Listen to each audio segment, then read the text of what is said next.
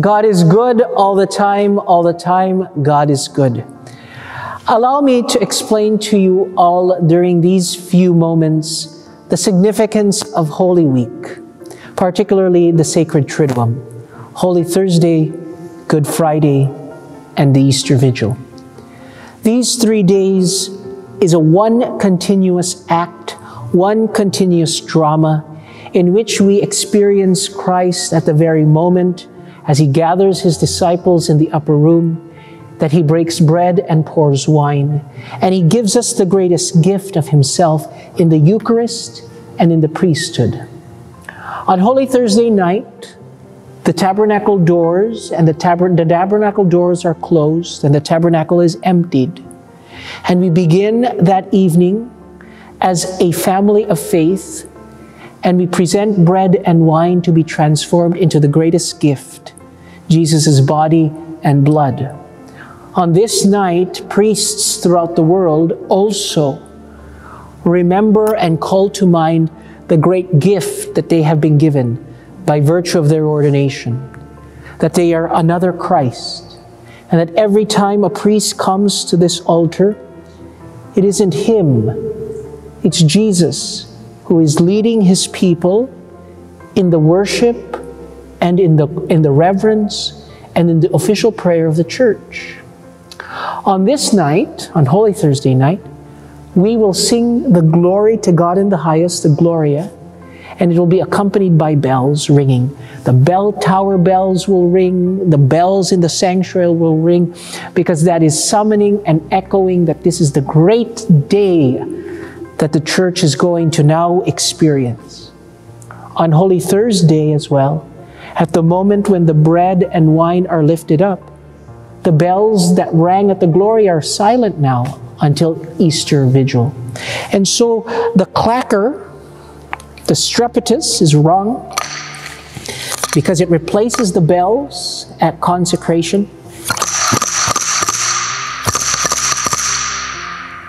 To remind the faithful, the bells that are silent are replaced by this stark, stark noise as of the trembling of the earth when the Son of Man gives his life up.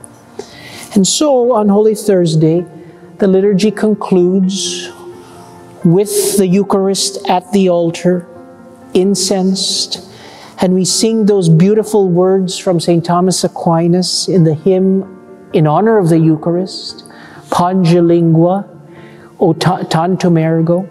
And the Blessed Sacrament is taken from the altar, the main altar, from the main sanctuary, and the Blessed Sacrament is taken to another altar, which we traditionally call the altar of repose. And there on Holy Thursday night, people keep vigil. The same way that Jesus left the upper room and went into the Garden of Olives, where he was arrested and taken and imprisoned, awaiting his sentencing on Good Friday, the church takes her bridegroom, which is Jesus, in the Eucharist, and they take him to another place where he is held. And we, we wait for the extreme drama of Good Friday. And traditionally, on Holy Thursday night, Eucharistic adoration and the public worship of the Eucharist ceases at midnight. While that's going on, the whole altar in the church is stripped. Throughout the year, this altar is vested and is clothed with many clothing, with many cloths, rich and noble for the worship of the Mass. On Holy Thursday night, as soon as the Blessed Sacrament is taken to the altar of repose, the altar is completely divested of its nobility, its dignity, and its vestments. And on Good Friday, you will see the stark nature of that altar. The altar represents Jesus. This is why the priest kisses the altar not only as a sign of reverence that this is an altar consecrated, anointed, it represents Jesus, the rock, the stone, the altar of sacrifice, but also on the altar, that exact place where the priest kisses the altar, there are relics here. The relics of saints. And that's to remind us that when the church was in persecution, the church would celebrate in the catacombs on top of the graves or of the tombs of the saints, of the martyrs, of these holy women and men. And so when the church comes out of hiding, when the church becomes the official religion, when the church starts spreading throughout the world, altars would be, uh, in altars would be placed pieces of the bone or fragment of a saint. And the priest kisses that area twice, if you remember, at the beginning of Mass and at the conclusion of Mass. Holy Thursday night is a beautiful way to begin the Triduum. And normally, if it wasn't a pandemic, Holy Thursday was also a time where we would wash the feet of people to remind us that a part of Jesus' coming was so that he would be a servant. I came that you may have life and have it more abundantly.